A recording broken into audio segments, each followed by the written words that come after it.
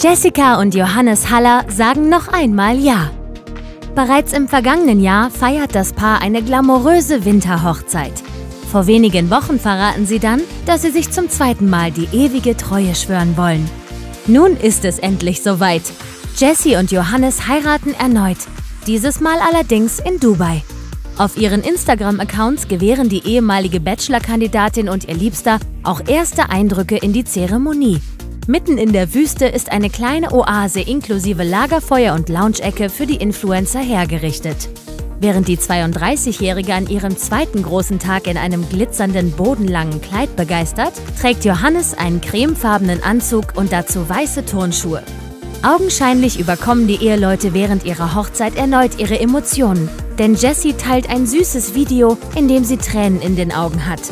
Für die Eltern einer Tochter ist diese Trauung auch nicht die letzte. Jessie und Johannes wollen nämlich jedes Jahr ihr Liebesgelübde erneuern.